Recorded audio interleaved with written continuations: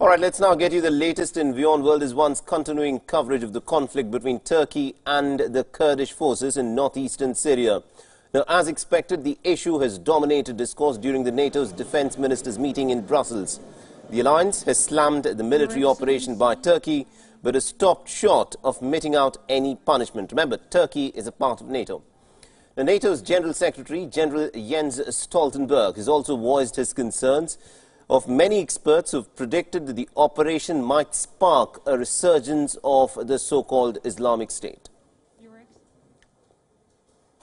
So I have stated several times that I am concerned about the risk uh, uh, that uh, the increased violence, the fighting, the instability we have seen uh, can uh, lead to that um, ISIS fighters uh, who are in prison are able to escape or are set free. And that's uh, exactly the reason why I think it's so important that we have seen some progress over the last days with reduced fighting, with uh, some reduction in uh, tensions, so uh, that uh, reduces the risk of uh, ISIS fighters being set free.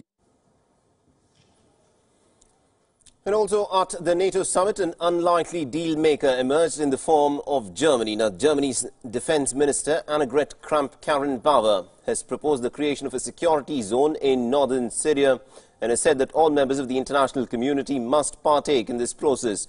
The proposal has been welcomed by Turkey, the United States, and also the top commander of the Kurdish military forces. The United States, however, wants Europe to take the lead in implementing the proposal. The Pentagon, meanwhile, seems extremely concerned about a possible obstruction to the oil supply from Syria and so is planning to send additional military assets in an effort to protect the oil fields there. Now, the United Nations Security Council also met behind closed doors to discuss the situation in Syria, and reports indicate that there was a pretty heated exchange between the Turkish and the Syrian ambassadors.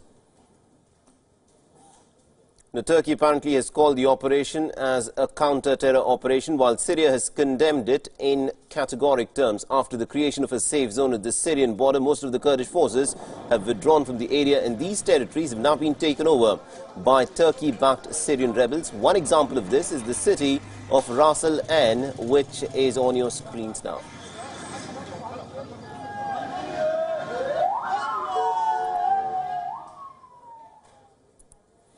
All right, let's now shift our attention to what is happening in California, where emergency officials have ordered for hundreds of people to evacuate as a wildfire in the northern region continues to spread.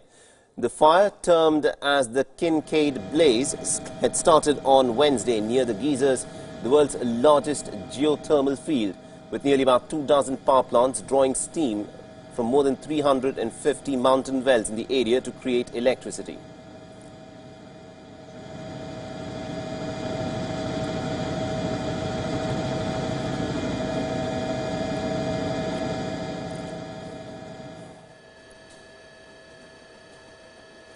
Now, driven by strong winds and helped by the extremely dry conditions, the wildfire has now engulfed an area of almost about 10,000 acres.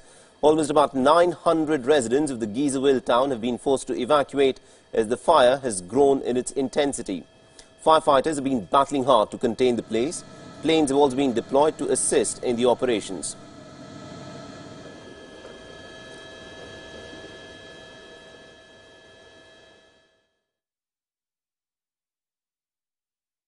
The fire turned out to be fueled by uh, what we believe to be about, about 60 mile an hour winds, plus or minus, and the terrain up there in that area is really rugged.